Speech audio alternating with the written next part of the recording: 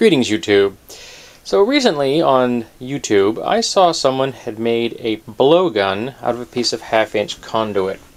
Now they used a piece that was 4 feet long but I bought this piece um, pre-cut at 5 feet and it's got nice deburred ends and uh, it cost me 2 bucks so I'm not going to cut it down. I'm going to work with uh, this piece right now. That spring is just there to keep the tube from rolling off my table.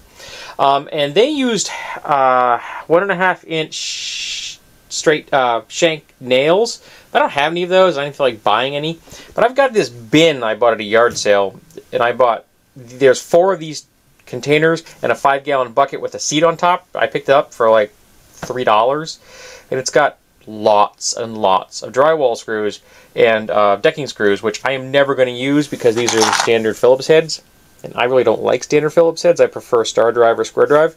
So, I'm going to use those to make darts. And the things I need are paper,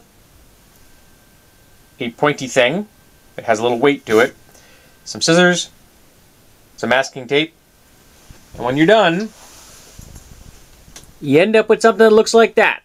And that is proof of concept. I set the target up and I hit that at probably about six or seven feet just to see if it would work. And it worked admirably. Flew, flew decent, hit there pretty deep, and as you can see, takes a bit of effort to remove the dart. So I've got some bunch of pieces of paper here, so I'm going to make some more of these. I put my printed myself up a quick and dirty uh, target. I just grabbed an image off of YouTube, off of Google. So that would be, you know, just something to, to strive towards. Um, and I'm going to set the camera up, and I'm going to see if I can center this, because I don't have a, this is a camera only has a screen in the back, hard for me to center things. So I'm going to aim this at the table. I'm going to put a put a spot on the table with a piece of tape so that hopefully I will stay in within that spot, and then, then I will make a uh, a dart a couple make a dart so you can see how I did it. Um, so that should be next. Alrighty, I think I have this centered on that mark right there. So this is what I'm going to do. So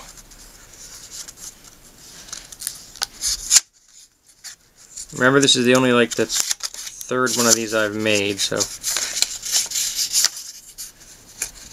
cut me a little slack.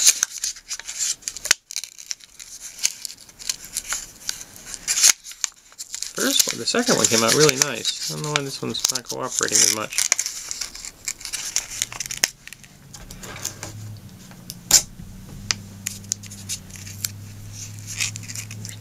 hold you a little bit closed for a moment.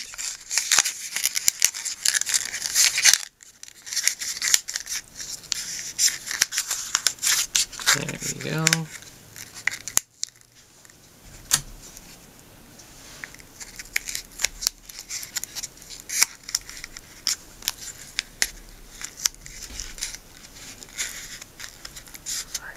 So we have that bit there.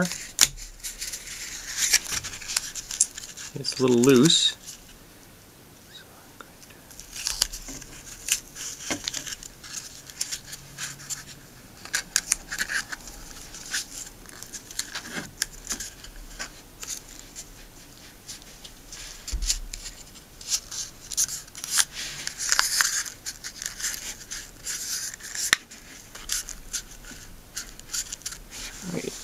I'm going to compare these two to each other. I'm going to cut some of this off.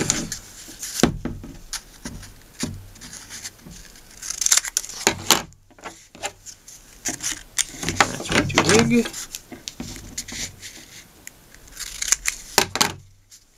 I'm going to put a little more tape on here, reinforce this a little bit. Make it a little more rigid, hopefully make it a little slightly more durable. Alrighty, now I'm going to take this piece of tube. This is going to be a little bit awkward because I'm, again, trying to keep this in frame. It's a little bit, a little bit tight. So take that off.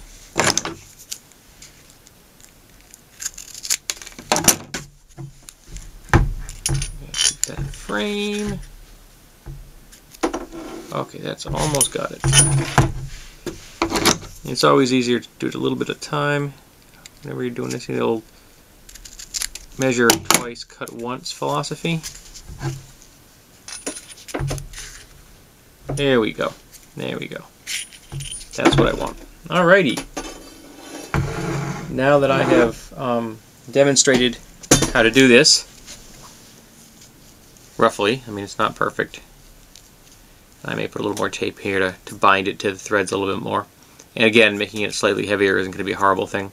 And I'm going to make a bunch of these up, and then I'm going to try this out in my, my garage with my target. See how that goes. So, I need to make a bunch of more of these.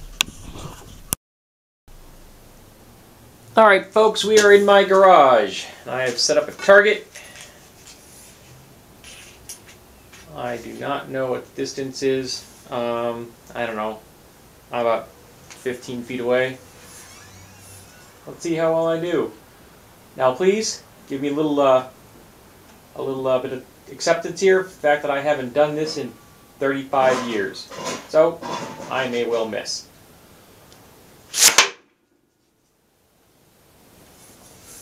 Well, that was in the white ring. That's not bad.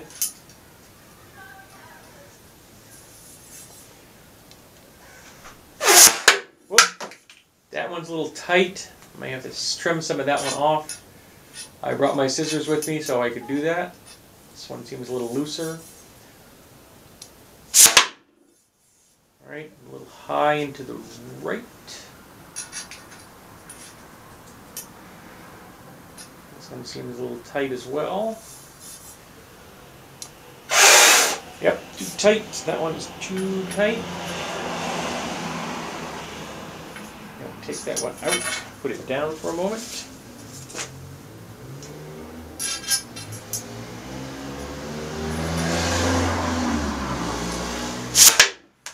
Oh, I, that one hit, but it just bounced off. That stings.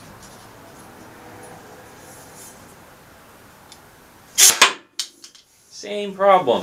Hmm. I think I need softer wood. I think the, this is just too hard.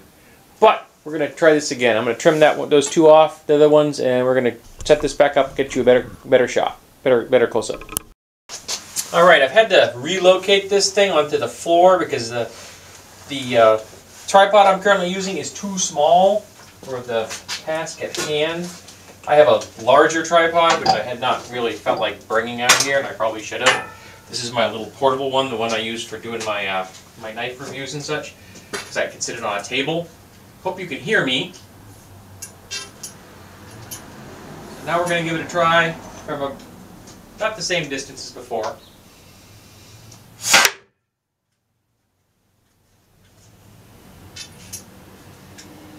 I trimmed those two darts.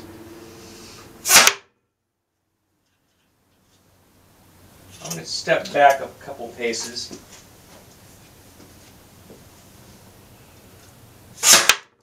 Oh, got a bouncer on that one. I'm now standing outside the garage.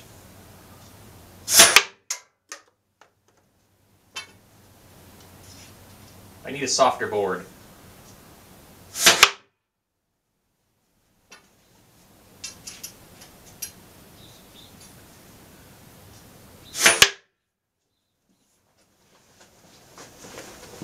Well, that ain't bad. You know? I mean, I haven't done this in a really long time, and I'm shooting at a range of about 25 feet. So, that's not bad. With like no practice. I fired like 12 rounds out of this thing, so I think I have got something that might actually work. Now, I think I'm going to want to reinforce these things a little more. Um, the ones with the tape going all the way to the end, I think, are superior to the ones that just have the tape, the paper showing.